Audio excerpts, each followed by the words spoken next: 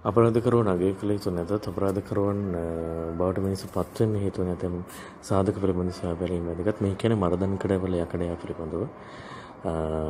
මර්දන් කඩවල යකඩයක් කියන්නේ වයස අවුරුදු 111ක් තිබෙක වූ සිංහල ශ්‍රී ලාංකිකයෙක්. ඔහුගේ නියම නම වන්නේ සාංචාරච්චිගේ ජනදාස නම. ඔහුතෙන් දිසූ අපූර්ව කාය ශක්තිය හේතුවෙන් මොහු හට මේ යකඩය යන අන්වර්ථ නාමය පට පැදුණා. තුන් වයසේදී මොහු අනුරාධපුර ප්‍රදේශයේ කුප්‍රකටව සිටියේ. නොපනත්කම් සහ අසාධාරණකම් හමුවේ ඔහුගේ නොහිවසිලිමත් භාවය නිසාම ප්‍රාදේශීය රොබින් හුඩ් වරයෙකු බවට පත්වෙමින්. මේ ගතිගුණ නිසා මොහු වරක් මරණ දණ්ඩනය නියම කරන ලබනවා. හේතු පෝරකෙන් නිදහස ලැබ පසුව හොඳ කල්ක්‍රියා මත වසරක් තුර දඟකයෙන් නිදහස ලබනවා.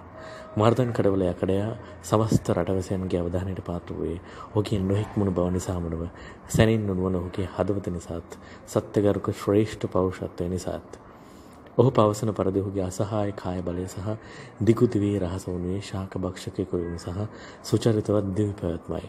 ඔහුගේ වයස අවුරුදු 107 බවට විශ්වාස කරතත් ඔහු ඊට වඩා බුද්ධයෙකු වේ හැකියි. ඔහු භාවිතා කරන සැරයටිය ඔහුට වඩා වයසින් බාලයෙකුට එසවීමට පවා අසීරු එකක්.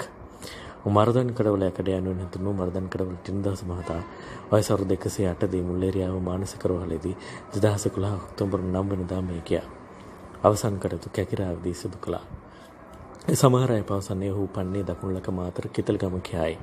ඒත් පැරණි පුවත්පත් වාර්තා අධ්‍යයනය කිරීමෙන්දී පෙනියන්නේ පෙරාදෙණිය උඩීරීකම් ප්‍රදේශයේ ඔහු පුවත ලබා ඇති බවයි.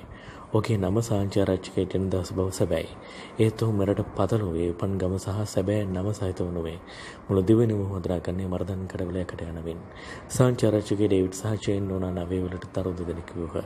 ජනදාස වැඩිමලායි. ඒ කෙනෙක්නේ ඇලිස් නෝනාය. කුඩා කල පටන්ම දඩබ්බරයෙකු වූ ජනදාස සිය පාසල් ගමන හමාර කළේ බීමත්ව පාසලට පැමිණි ගුරුවරයෙකුට පහර දීමෙන් අනතුරුවයි. ජනදාසගේ පෙම්වතිය දෙවන ලෝක යුද්ධ සමයේදී මෙරටට කැඳවත් වූ කාපරි හමුදාතින් දූෂණයට ලක්ව මිය කිය පවද ජනදාස දාමරික කම්වලට යොමු වූයේ ඉන් අනතුරු බවද කියවෙනවා. දාමරික කම්වලට යොමු වීමට පෙර කාපරි සබළුන් සෑහෙන ගණනක් මරුතුරලට ඒමට ජනදාස සමත් වූ බව කටකතාවලින් පැවසෙතත් එබව සනාථ වන සාධක නැහැ.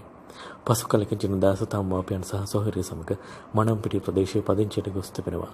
ඊට පැහැදිලි හේතු පෙරෙන්නට නැතත් සමහර විට ඒ ජනදාසගේ දාමරිකකම් නිසා වන්නට පුරුවන්. පසු කලක ඔහු මනම්පිටිය අතහැර පැමිණ වැඩිපුර ගැස ඇත්තේ කැකිරාව ප්‍රදේශයේ. මියාමින් අනතුර සුර බාරගන්ට කෙනෙකු නොමැතිව ජනදාසක දේහය සති දෙකක් මෘත ශරීරාගාරයේ තිබුණා. පශ්චාත් වර්ණ පරීක්ෂණයේදී සිරුර එස්.ඒ. ජනදාසගේවත් යකඩයාගේ බව හෙළිවීමෙන් අනතුරුව දේහ කැකිරාවට ගෙනයන ලැබුවා. එම වසරේම ඔක්තෝබර් 9 වන සෙනසුරාදා කැකිරාව නෙල්ලිකම සුසාන භූමියේදී යකඩ අවසන්ගමගේ තම සොහොයුරියගේ දරුවන්ගේ සහ ඥාතීන්ගේ කරපිටින් මේ යන විට ඔහුගේ වයස අවුරුදු 111ක් බව මාධ්‍ය සඳහන්වත් පැරණි පුවත්පත් වාර්තාවක දැක්වෙන ඔහු 1921 උපන් බවයි. ජනදාසට මර්දන් කඩවල යකඩ යන්නම් පටපදන කෙසෙද යන ගැටලුවක්. වරක ඔහු මාධ්‍යවත පවසා තිබුණේ දුම්රිය මග ගමන් කරද්දී ඊට බාධා කළ සුක්කානම කංකානම් කෙනෙකුගේ සිරුර සිරවන පරිදි යකඩපටියක් නැවුහෙන් තමාට නම ලැබුණා කියයි. තවතට කොහොම මාධ්‍ය වේදිකට පවසා තිබුණේ මනම්පිටිය පාල මසලදී තමහා ගැටෙන්ට මිනිසුගේ සිරුරේසේ යකඩයක් නවා හිර කළ බවයි. කෙසේ වෙතත් ඔහුට හොඳ කාය ශක්තියක් තිබෙනට ඇත. සොරකමගේ අවස්ථාවන්හි නිවාසයන්හි කවුල්වල වූ යකඩ කුරුහ තම දෑතින් ඈත් කර නිවාසයන්ට ඇතුළු බවද කියවෙනවා. කෙසේ වෙතත් ඔහුගේ නියම නමට වඩා මර්දන් කඩවල යකඩය හා යන නම රට පුලා පතර වූයේ කැකිරාවේ තැපැල්හල කොල්ලකා ඒ තැපැල් ස්ථානාධිපතිවරයා ලෙස කටයුතු කළ තම්බයියා මරා දැමීමත් සමගයි.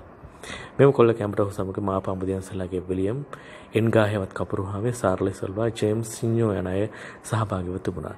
ඒ අතරින් විලියම් සහ ජිමි මහේස්ත්‍රාත්වරයෙකු ඉදිරියේ පුද්ගලිකව පාපොච්චාරණය කර තිබෙනවා. තැපැල් මහතාට වෙඩිතපු ජනදාසේවත් යකඩ යන එම් පාපොච්චාරණයෙන් හෙළි වී තිබෙනවා. ඒ ජනදාසය වනට පේදුරු තුඩුවෙන් ඉන්දියාවට පැන ගොස් තිබුණා. වරක ඔහු පැවසුවේ පේදුරු තුඩුවේ සිට සතුන් 30ක් මුහුදෙන් පිහිනා ඔහු ඉන්දියාවට ගිය බවයි. පීනාගේ කතාව ඇත්ත නැත්ත කුමක් වද ඉන්දිය පොලිසියෙන් අත්අඩංගුවට ගැන ඔහු මෙරටට එවුන් ලැබුවා. නඩු විභාගයේ අවසරවට මරණ දඬුවම නිමුවත් පසුව ජීවිතාන්තය දක්වා සිර දඬුවමකට පෙරුණා. වසර 16කට පසු 1968 දෙවරු සමාවදී බන්ධනාගාරයෙන් නිදහස් කරනවා. බන්ධනාගාර අධිපතිවරුන්ගේ වාර්තාව අනුව යාපනයේ සිරගෙදරද සිට ඇත. මන්ත්‍ර විජයවරමක් වන්නාගාර තුළ පවත්වාගෙන යාමට උපකාර නිසා 1961 දී ඔහු යාපනයේ සිට වැලිකඩ බන්ධනාගාරයට එවා තිබෙනවා. 2011 අවසරයේ මේ යාමට වසර දෙකකට ඉහතදී යකඩ අරලේගහ මන්දිරයේදී ජනාධිපති මහින්ද රාජපක්ෂයන් හමු වී තිබෙනවා. මෙරට පෙරදී කුප්‍රකට සාපරාධිකා සුපිරි වීරය කිරීමට මෙම සිදුවීම ඉවහල් වූයයි කියනවා. ජනප්‍රසාදය උපයා ගැනීමට කුමන දේ කළ යුතුදයි යකඩ අයිතා වෙනුවෙන් දැන සිටි බව පේනවා. මෙදී දේශපාලනඥයන් අතර පවතින විරක්ෂිත භාවය සහ බිහිතිය ඔසෙන් රිසිසේ ප්‍රයෝජනට එකත් බව පේනවා. ආචාර්යන්තපතිවරයාට ඇති මහත් ආරක්ෂා හමුවේව මහත් පන්තබලයකටයි පැවසුණු ජීවම් කළ සුරයක් ඊතා වැදගත් වස්තුවක් බවට පත් කිරීමට ඔහු සමත් වූ බවත් වාර්තා වෙනවා. ඔය තමයි යකඩය ගැන තොරතුරු. අපරාධකරුවන් අගය කළ යුතු නැතත් අපරාධකරුවන් බවට මිනිස්සු පත්වෙන්න හේතුව නැතැම් සාධක පිළිබඳ සොයා බැලීම වැදගත්. මේ කියන්නේ මර්දන් කඩවල යකඩය පිළිබඳව. මර්දන් කඩවල යකඩයක් කියන්නේ වයස අවුරුදු 111ක් තිබෙක වූ සිංහල ශ්‍රී ලාංකිකයෙක්. ඔහුගේ නියමනම වන්නේ සාංචාරච්චිගේ ජනදාස නම. ඔහුතෙන් දිසූ අපූර්ව කාය ශක්තිය හේතුවෙන් මොහු හට මේ යකඩය යන අන්වර්ථ නාමය පට පැදුණා. තුන් වයසේදී මොහු අනුරාධපුර ප්‍රදේශයේ කුප්‍රකටව සිටියේ. නොපඩත්කම් සහ අසාධාරණකම් හමුවේ ඔහුගේ නොහිවසිලිමත් භාවය නිසාම ප්‍රාදේශීය රොබින් හුඩ් වරයෙකු බවට පත්වමින්. මේ ගතිගුණ නිසා මොහු වරක් මරණ දණ්ඩනය නියම කරන ලබනවා. හේතු පෝරකෙන් නිදහස ලැබ පසුව හොඳ කල්ක්‍රියා මත වසරක් තුර දඟකයෙන් නිදහස ලබනවා.